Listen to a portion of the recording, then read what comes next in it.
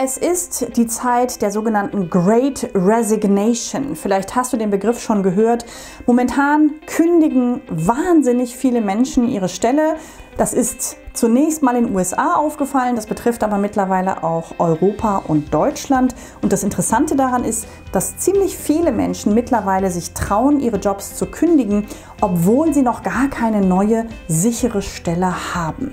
Ich möchte gar nicht so sehr darauf eingehen, warum das passiert, sondern ich möchte dir heute nochmal eine neue Perspektive auf das Thema Kündigungen geben, insofern, dass wir aus dem Kündigen von Kolleginnen und Kollegen, von Mitarbeitern, dass wir daraus unglaublich viel lernen können. Und ich erlebe ganz häufig, dass diese Möglichkeit des Lernens über die eigene Organisation, dass die nicht wahrgenommen wird. Und das finde ich wahnsinnig schade.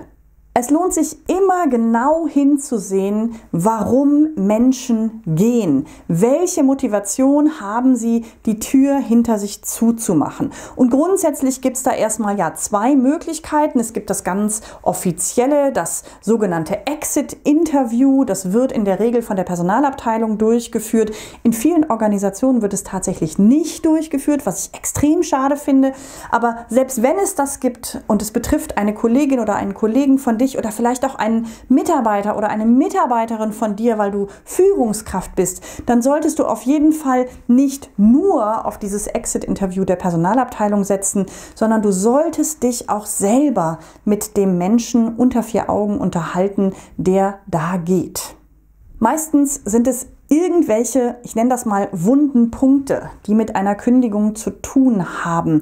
Und es ist für dich, wenn du in dieser Organisation verbleibst, total wichtig, diese wunden Punkte zu kennen. Denn wenn du da bleibst, dann hast du ja vielleicht auch die Möglichkeit, an diesen wunden Punkten etwas zu verändern. Und wenn du gar nicht weißt, warum jemand geht, na dann entgeht dir halt diese wichtige Möglichkeit.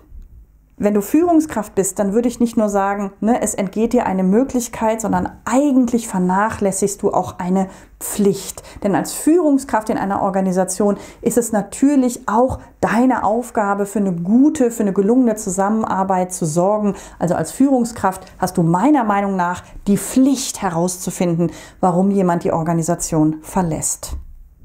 Der Grund Nummer eins, warum Menschen gehen, das ist sogar statistisch ziemlich eindeutig nachgewiesen, ist der direkte Vorgesetzte oder die direkte Vorgesetzte wenn du das selber bist, wenn jemand von deinen Mitarbeitenden geht und du hast auch nur den Hauch einer, naja, Idee oder hm, vielleicht so ein ganz ungutes Gefühl, dass es an dir liegen könnte, dann solltest du das ernst nehmen, dann solltest du den Dingen auf den Grund gehen und vielleicht solltest du mal um ein Coaching bitten oder an deiner Persönlichkeitsentwicklung arbeiten, um zu gucken, dass dir das nicht mit noch einem und noch einem Mitarbeitenden passiert. Wenn es in deinem Umfeld passiert, wenn es nicht direkt du bist als Chef oder Chefin, sondern vielleicht dein Vorgesetzter oder ein Vorgesetzter aus einem anderen Bereich, auch da kannst du ja mal Einfluss nehmen und mal versuchen, jemanden zu einer Veränderung zu bewegen, zu einem Coaching bewegen und einfach nochmal gucken, was hast du für Einflussmöglichkeiten, um die Kultur, um die Zusammenarbeit ja, in deiner Organisation zu verändern und mehr Feedback in die Organisation zu geben. Ein weiterer Grund, warum Menschen gehen, sind schlechte Prozesse. Wer sehr effizient ist, wer es wirklich mag, gut, effizient, strukturiert, logisch zu arbeiten, der wird wahnsinnig, wenn in der Organisation keine Prozesse da sind, wenn nichts funktioniert. Und auch das solltest du wissen, wenn du in der Organisation bleibst, weil vielleicht kannst du ja an der Prozesslandschaft und auch an der Einhaltung von Prozessen mitwirken und daran was verändern. Ein weiterer Grund, warum Menschen gehen, sind keine Karrieremöglichkeiten. Also, wenn ich das Gefühl habe, ja super, wir haben eine flache Hierarchie, aber hm, das bedeutet auch, dass ich gar nicht wirklich weiterkommen kann und aufsteigen kann, dann ist das für manche Menschen ein Kündigungsgrund. Wenn das so ist, dann solltest du auch das wissen, wenn du in der Organisation verbleibst, weil vielleicht ist es auch ein Grund, der dich irgendwann aus dieser Organisation raustreibt. Vielleicht ist es aber auch etwas, was dir einfach nochmal eine Reflexionsfläche bietet. Wie wichtig ist mir Karriere? Wie wichtig ist mir Aufstieg? Bin ich da so, ja, ich sag mal, getaktet oder unterwegs wie die Person, die jetzt die Organisation verlassen hat? Also auch das ist interessant für dich zu wissen. Naja, und dann gibt es noch einen weiteren Grund, warum Menschen gehen. Das muss nicht immer nur der schwierige Chef sein. Das können auch toxische Kolleginnen und Kollegen sein.